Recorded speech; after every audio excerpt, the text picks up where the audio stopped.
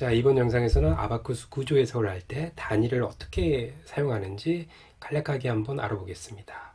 기본적으로 아바쿠스를 모델링 하게 되면 뭐 물성을 집어넣든 뭐 모델링을 할 때 우리가 단위를 볼 수가 없습니다. 즉 암묵적으로 특정한 시스템을 선택을 해서 유저가 일관되게 사용되기를 기대를 하고 있습니다. 그러면 보통 우리가 사용하는 단위는 어떤 게 있을까요? 보통 SI 유닛이나 작은 구조물의 경우 밀리미터 SI 유닛을 사용하고 있습니다. 자, 알루미늄 계열의 물성과 디멘션을 보고 이 두 가지가 어떻게 되는지 한번 간단하게 볼까요? 어, 1m다 그러면 SI 단위에서는 1을 입력을 할 거고요. 그 다음에 SI 밀리미터는 1000을 입력을 하게 됩니다.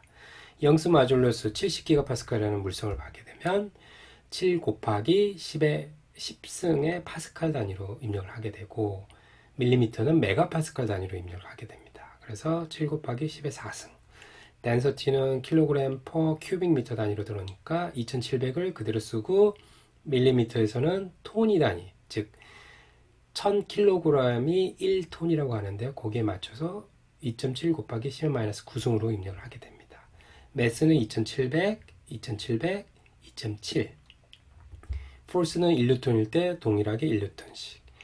어, pressure는 1바, 1기압이라고 하면 SI에서는 파스칼, 10의 5승 파스칼, 밀리미터에서는 메가파스칼, 0.1 메가파스칼로 정의를 하고 time은 동일하게 1 second. 에너지는 1줄을 넣을 때 SI에서는 그냥 1, 밀리미터 단위에서는 1000 밀리줄로 넣게 됩니다.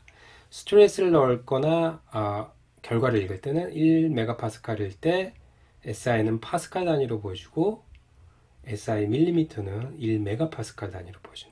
gravity는 9.81 meter per cubic second일 때 9.81 그대로 놓고 SI 밀리미터에서는 millimeter per cubic second이니까 9.81 곱하기 10의 3승이 됩니다. 기본적으로 우리가 예를 들어서 밀리미터 단위로 모델링하고 즉 밀리미터 단위로 1000짜리 dimension을 만들고 물성은 메가파스칼로 입력을 했다라고 하면 그리고 force는 constant force가 있었을 때 뉴턴으로 하면 Abaqus 결과물은 어떤 plot을 했을 때 단위가 없는 걸 보여주지만 어, 결과의 displacement는 밀리미터 단위로 결과를 보여주고 스트레스는 메가파스칼 값이라는 것을 어, 알 수가 있는 겁니다. 마찬가지로 우리가 뭐 다이내믹 문제를 풀었다라고 하면 tonne 단위로 입력을 해서 natural frequency를 봤다라고 하면 이건 기본적으로 radian per second 단위가 된다는 걸 알 수 있습니다. 뭐 이 단위 중에서 가장 뭐 어, 익숙하지 않은 거는 톤이겠죠. tonne dynamic을 할 때 쓰는 tonne. 그러면 이 톤이랑 그 다음에 뭐 미터랑 밀리미터, 그 다음에 gravity 단위들이 어떻게 되는지 간단하게 한번 연산을 통해서 확인해 보겠습니다. 자, 먼저 tonne를 한번 density를 볼까요?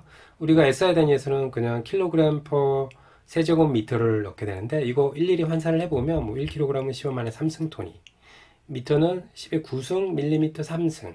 그래서 이거 나눠보면 10의 마이너스 12승 tonne per cubic millimeter가 됨을 알 수 있습니다. 간단하죠? 그 다음에 뭐 우리가 dimension을 미터 단위, 그죠?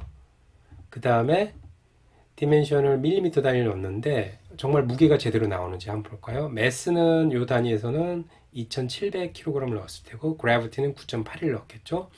밀리미터 단위에서는 매스를 우리가 톤을 넣는다고 그랬으니까 1000분의 1인 2.7톤을 넣고 그래비티는 9.81 곱하기 10의 3승을 넣었다고 그랬죠. 이거 다 곱하면 둘 다 동일합니다. 2.7 곱하기 9.81 곱하기 10의 3승 뉴턴으로 환원이 되죠. 그 다음에 가장 생소했던 dynamics, 즉 frequency가 정말 radian per second로 나오는지 볼까요? 어, 우리가 이야기하는 frequency는 루트 m분의 k죠. 자, SI unit에서는 어떻게 될까요? mass 킬로그램.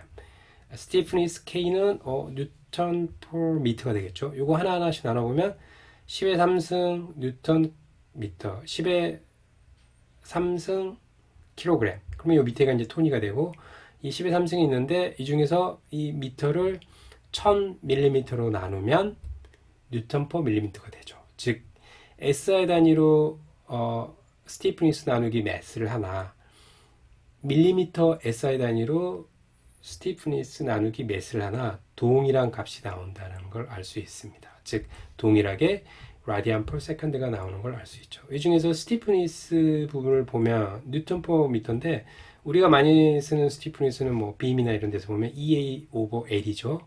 즉 modulus는 뉴턴 per cubic 밀리미터, area는 밀리미터의 제곱, 길이는 밀리미터. 요거 하면 이렇게 나옴을 쉽게 알 수 있습니다. 즉 하나하나 환산을 해보면 왜 우리가 어, SI 유닛에서는 킬로그램이고 어, SI 밀리미터 단위에서는 톤이를 써야 되는지 그 다음에 어, 파스칼을 써야 되고 메가파스칼을 써야 되는지를 쉽게 확인할 수 있습니다.